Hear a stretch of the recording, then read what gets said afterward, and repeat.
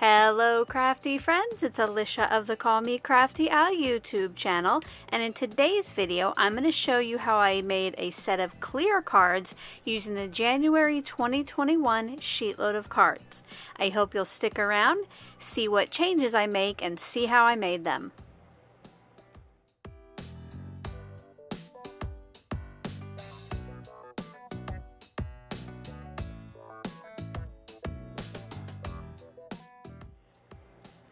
Thank you so much for stopping by today.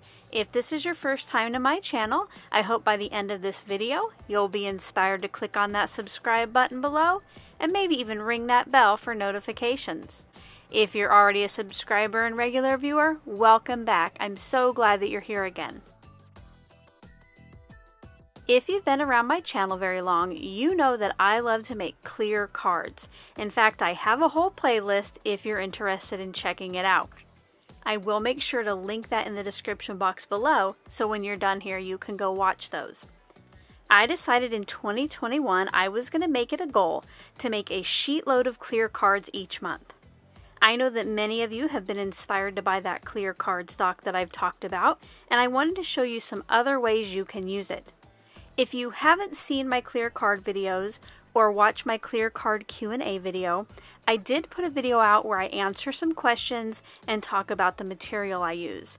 That also is linked at the description box below, and I will also pop it up at the end of this video as an end card. There is lots of great information there for you. One reason I like clear cards is you can get lots of layers and depth without necessarily adding bulk to your card because I always put some elements on the inside of my card and some on the front. Today I'll be showing you how I alter the sheet load sketch just a little bit so I can turn this into a clear card. And also, something different I'm going to do is instead of an image or sentiment, I'm going to be using some stickers from the paper collection that I got out and instead of the fishtail banner, I'm going to use some of those scraps up in that area. So before we get started on the process, I'll show you a little bit more about what I'm going to use today. But as always, if I leave you with any questions, leave those in the comment section below and I'll get back to you just as soon as I can. One of the tools that I'm going to be using that is not one of my normal tools that you see in every video is my little Tim Holtz mini stapler. And also, of course, I'll be using the January 2021 Sheetload of Cards printable. If you haven't downloaded it yet, it is free for my subscribers, and I will link the debut video below, which tells you how you can download that. For my clear card bases, I got out five pieces of clear cardstock. It doesn't look clear now because there are tissue separators between each piece. I like to use the 10 mil clear report covers for my clear cards. I got out one piece of off-white cardstock. This will be the piece that originally says image and or sentiment on the sketch. For my matting, I got out five pieces of prickly pear cardstock from Gina K Designs. I thought it went nicely with these rain boots here, even though on screen this looks a little bit more green. But not only did it kind of match that, I thought it would pair nicely with the other two pattern papers. Speaking of pattern papers, I chose three pieces from the Spring Market collection by Carta Bella. You have the rain boots, a floral, and then just a very light wood grain. And like I mentioned earlier, I will be using some of the stickers from the coordinating sticker sheet to make my focal points. Let's get crafty! The first thing that I did for today's cards was cut the pattern paper CS1 and CS2 per the instructions. But since I've already gone over this once, I won't bore you with that process. If you want to see that process clearly, make sure to check out my video from the second, which will be linked in the description box below. One thing I did change up from the instructions is I did not cut the little piece for the flag. I will cut that later toward the end of the video. Alright, I thought I would stop the voiceover here now and talk a little bit about how I'm going to turn this card into a clear card. What I usually try to figure out beforehand is what can go on the inside of the card and what can go on the front. Sometimes I just add a piece of white or off-white cardstock to the inside for my personal message, making sure it can be hidden behind the front, and other times I'll make an inner card. For this set of cards, I could use either of those two options. If I were to put the white cardstock, or in this case off-white cardstock, just a piece on the inside, I would need to hide it behind this area here that has like the blue graph paper look. But I also wouldn't want it to go past the striped paper over here on the right. So what I would do is measure from the edge of the graph paper over to the edge of the striped paper and cut it so it would fit behind this when the card is closed. The second way would be to make an inner card that when it is folded, it is the same size as the graph paper with its mat. So when it's folded, it would be 5 and an eighth inches wide by 2 and 3 quarters inches tall. To do that though, I would have to cut my piece of cardstock to 10 and a quarter inches wide by 2 and 3 quarters inches tall. Now I know that that might not make sense right now, but later on I am going to do at least one sample of that so you can see how the inner folded card works. Because for most of the cards, I'm going to be using the option where I just put a piece of off-white cardstock on the inside. So on the front of the clear cards, I will have PPB and its mat along with the image and sentiment strip. Let's get back to creating. Now I'm going to cut down my clear cardstock for card bases. This material cuts very nicely in most trimmers. I have tested it with the little trimmers that just have that small triangle blade and those cut through it as well. Once I have that cut in half, I just fold that with my fingers. Now I do go ahead and bring in a bone folder just to kind of crispen that fold up and make sure it lays flat, but you don't have to have a bone folder to make clear cards.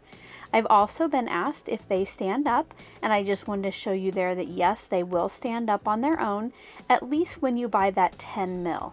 I continued cutting and folding that clear cardstock until I had all of my card bases ready.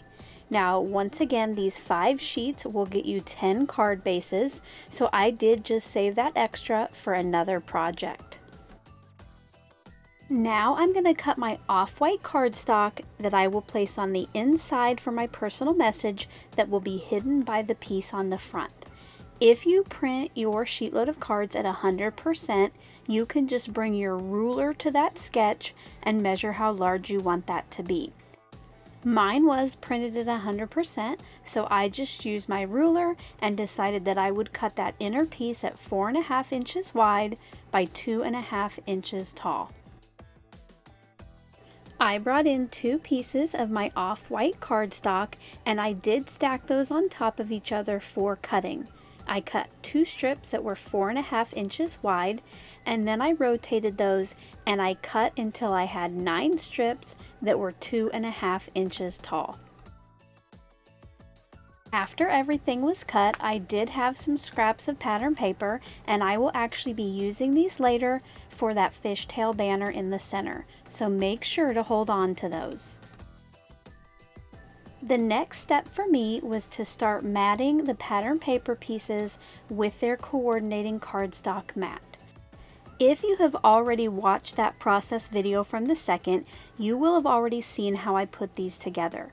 But just a reminder that per that sketch, you align these pieces of pattern paper either to the left or the right of their cardstock mat. The smaller pieces get aligned to the right and the larger pieces get aligned to the left.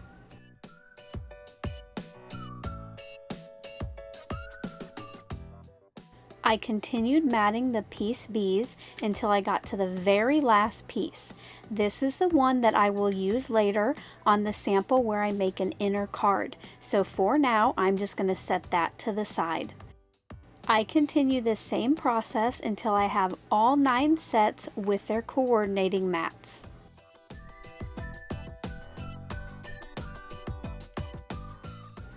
Because I will not be stamping onto CS1, I decided I would add a little texture to it with this wood grain embossing folder. So I brought in my Cuttlebug and I ran those pieces through there with the embossing folder two at a time. You'll see here the difference that that texture makes. I just think it really adds something to cards, especially when I'm not adding any stamping to this piece.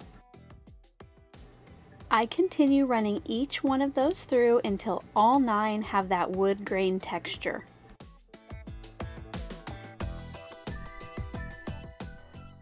Now I'm going to work on the vertical strips that will go on the front of the card. I brought in the textured pieces that I just made. I added adhesive to the back of these and then it got placed aligned to the center top of the cardstock strip. Now, I did discover that after running these pieces through that wood grain embossing folder, that it really weakened it and some of them were tearing slightly. So I did my best to just be careful and get those onto the cardstock mat. Once the cardstock was in place, I added adhesive to the back of the pattern paper piece and this gets aligned to the bottom center of that same strip. Now there is a little bit of a weird overlap, but later that will be hidden by our fishtail banner decorations. I continued this same process and at first again I was being super careful with those wood grain pieces and then I had a light bulb moment. I started putting the adhesive on the cardstock strip and then bringing that textured piece to it, and that worked out much better. I continued in this manner until I had all nine of those strips decorated.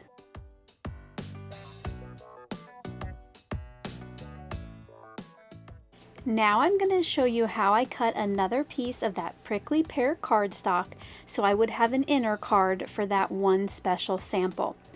Once again, when this is folded, I need it to be 2 and 3 quarters inches tall by 5 and an eighth inches wide. So I cut this piece to 10 and a quarter inches wide by 2 and 3 quarters inches tall, and then it gets folded in half. Now I will tell you that I did prefer this card in the end. I just thought the opening was really fun, which you'll see later. But this would require quite a bit more cardstock. And since I have tons of white and off-white and ivory, I'm a little bit more frugal when it comes to my colored cardstock. Once the inner card was made, I added adhesive to the back of the pattern paper strip and added this to the front. Now don't forget, you will want it so it opens from left to right, and then you will align the pattern paper strip to the right of that. Now that all of my main pattern pieces were matted, I went ahead and I put my little card kits together.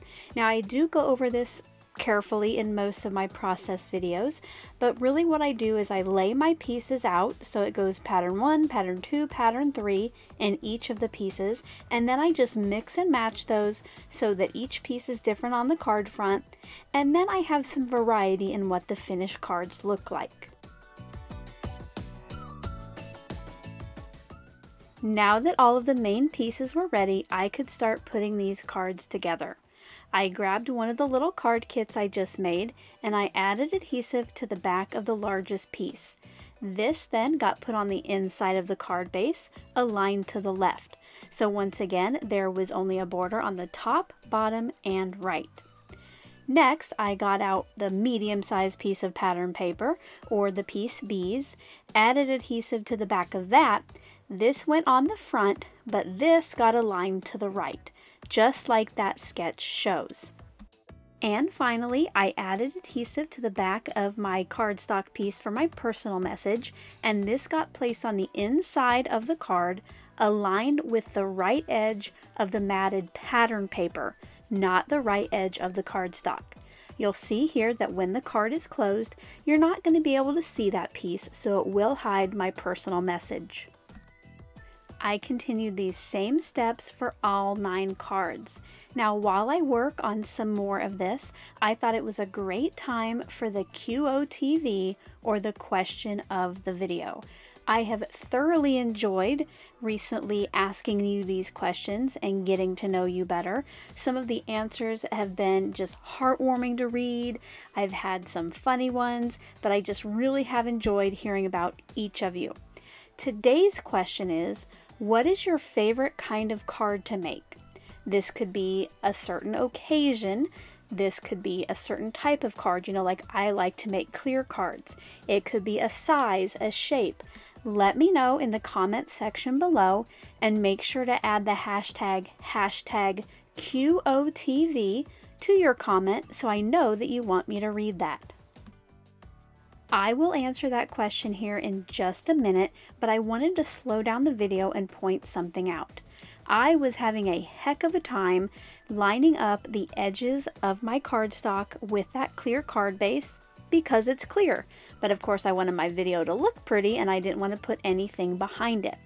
I discovered, I had another light bulb moment, that if I used the cardstock piece for the inside and just placed it behind the edge of the card base, that I could see that a lot more clearly and get those pieces lined up. Just a heads up if you're going to make some of these on your own. For my answer to the question, you of course know that I love clear cards, but besides that, I really like to make shaker cards and any kind of card with vellum. As for occasions, just because I use them most to send out, I like thinking of you cards or hello cards, and then of course thank you cards. All of the card bases are together and here's a little look at the one with the inner card. I just think how each thing folds differently is so fun. Now we're going to work on the fishtail pieces for the sentiment slash image strip. Originally, it called for a 2 and 3 quarters by 3 quarter inch piece. Because I will be using a special punch, I'm going to cut each of these to 3 inches wide, and then for the green ones, I will cut them to 3 quarters inches tall, and the pattern paper pieces will get cut to a half an inch tall. I did bring in my little Fiskars photo bypass trimmer for this. The size of it is just a lot handier than bringing in that large trimmer. I just cut and punch these until I have nine of the green pieces and then six of each of the pattern paper pieces. When I cut the pattern paper pieces to half an inch tall, the first thing I did was cut each piece so it started at an even inch on my trimmer and then I just slid it from left to right a half an inch at a time. This was a lot quicker than measuring from the half inch mark, taking my pattern paper piece out, realigning with the half inch mark, and just to keep doing that. Once all of those strips were cut, I then brought in my Stampin' Up! Pick a Banners punch and I put a fishtail in each end. I purposely cut these pieces to either a half an inch tall or three quarters inch tall because those are two of the sizes that fit in this punch. This you could do with just scissors and hand cut those, but this tool does make it so much faster and easier.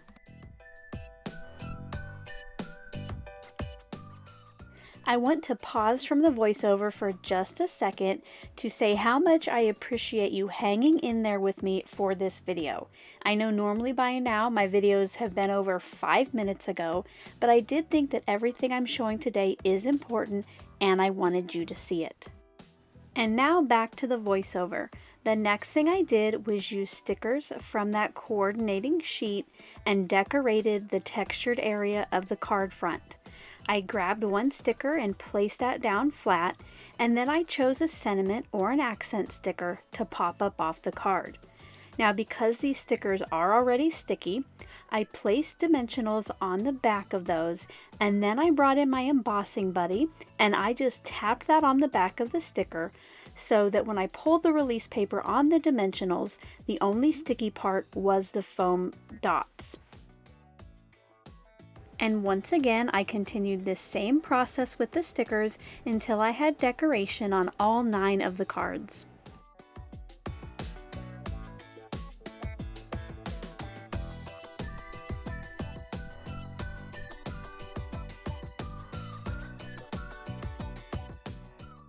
And now it's time to finish these cards off with my little fishtail clusters.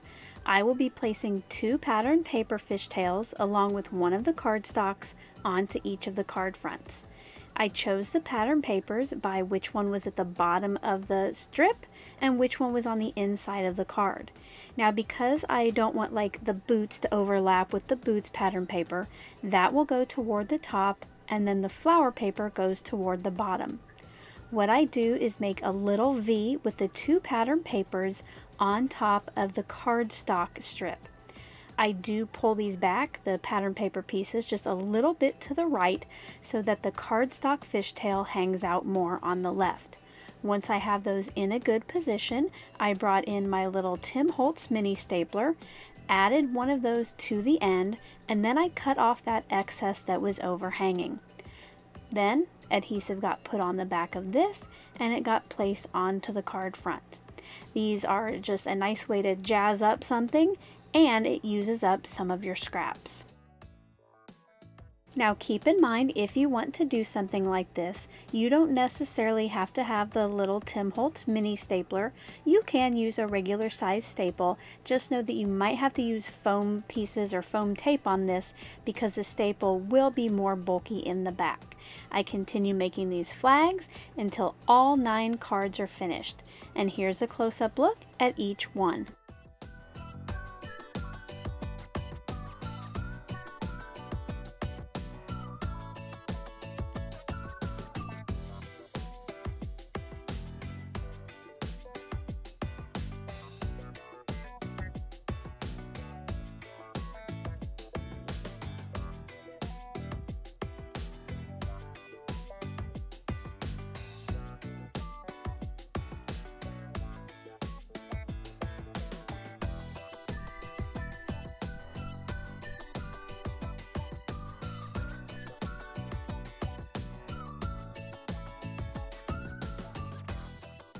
I hope you enjoyed seeing how I made today's set of cards. If you did, as always, I appreciate a thumbs up. Until my next video, I hope you're all having a crafty day. Bye-bye. Thank you so much for taking the time to watch all the way to the end of the video. I hope now you'll consider clicking on one of the videos or playlists I have linked above, and if you're interested in any of the products or tools I used in today's video, I do have some links in the description box.